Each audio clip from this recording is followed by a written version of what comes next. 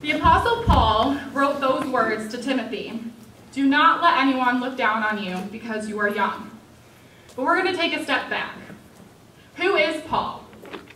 He was not one of the original 12 disciples, but he was called by Jesus after the resurrection. The first book of Timothy is one of three final letters that Paul wrote. First Timothy has the most explicit instructions in regards to church leadership and organization out of the whole entire Bible. And these letters were written to Timothy, a young pastor.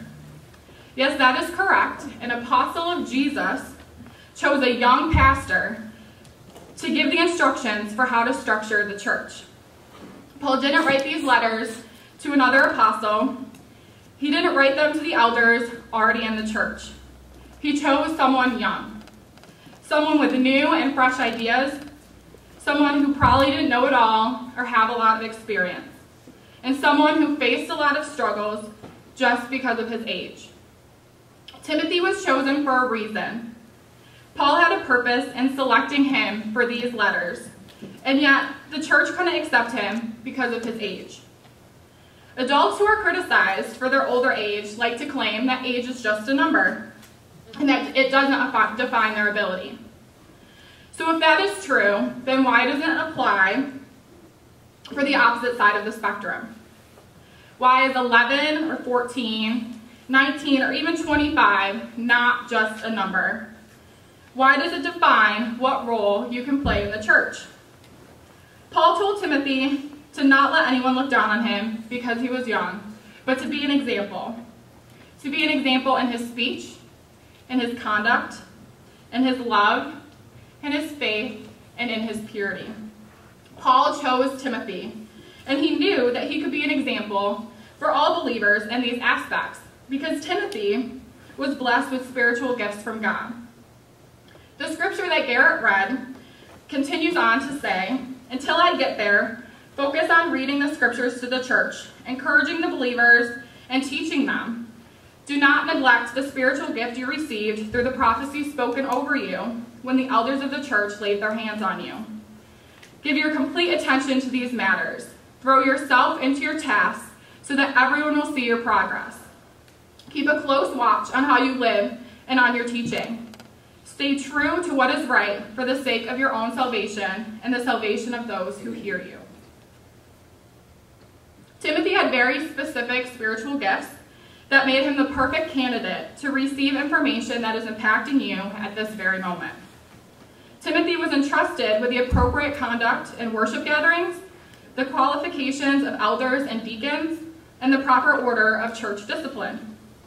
Those are all things that we take very seriously today. And they were all entrusted to a young pastor. It is very mind boggling for me because our modern day versions of these things, like the Book of Discipline, are not things that young people can easily get their hands on. The information within the pages of the Book of Discipline are not openly shared, nor is it followed in regards to youth. Why, in this day and age of constant social progression, is the church thousands of years behind and something that the Apostle Paul knew was necessary so long ago? Paul chose Timothy because of his age. Paul very specifically chose someone young. There was a method to his madness, I promise. And I'm sure that Paul knew how hard it would be for Timothy, how unlikely people would be to accept Timothy's word, but he chose him anyway. Just think about it for a minute. What would have happened to the church if Paul had picked one of the elders? Paul could have given the elders all the information on how to form the church, and would that church have been formed? No, it would not have. Paul picked someone with gifts, he picked someone with time, he picked someone with room to grow and to learn. He picked someone who would see it through. He picked someone with energy and vigor, someone who was willing to change, someone who was willing to fight against his oppressors, and someone who was not already molded. He picked someone young for a reason. And although Timothy obviously didn't have it all together at his young age, he was willing and he learned as he went. Why can't we view our youth that way? Why can't we acknowledge their gifts and teach them to form the church that will be here when we are no longer here? You can ask any of our youth that are here up front today. Um, at the beginning of the year, we took surveys to find our spiritual gifts. Each and every one of them has a spiritual gift. There was no survey that came up with nothing. They are all different, and they may shine through in different capacities, but each youth is gifted. Why? Because God intends to use each of us. He has a lot of work that needs to be done on earth, and He creates disciples for a reason. But then the church gets involved in His work, and they dictate who is able. And they typically decide that the youth are unable because of a number. Instead of being like Paul and encouraging Timothy to serve in a capacity that meets the abilities that he currently had, the church just says no, maybe later. The church has been doing it to me for years, and as much as I have tried to be the example anyways, it is hard and it's very discouraging. I had my own version of a Paul, and he left. And I'm not the perfect Christian that kept up fighting anyways. So instead, I became Paul, and I recruited a, gift, a group of Timothys that I know will change the world someday. I lead youth group because I know what it feels like to be a young person in the church with gifts that no one wants to use. I don't want any of my youth group to feel that they are unworthy just because of their age. I want them to know that God will use them right where they are at, and that God might not use them right now, but years down the road, they could be used. And if I didn't take the time to prepare them now, then how can I expect them to know what to do in the future? The same goes for the church. We are so concerned about making the elders happy. But what about our children's and youth programs? What about setting a foundation for our youth? What about teaching them what the church is and how they can sustain it in the future? Why are we not concerned that the youth are not here, that they do not have a voice? When someday, probably a lot sooner than we all might like, the youth will be all that's left. And guess what? They won't be here either.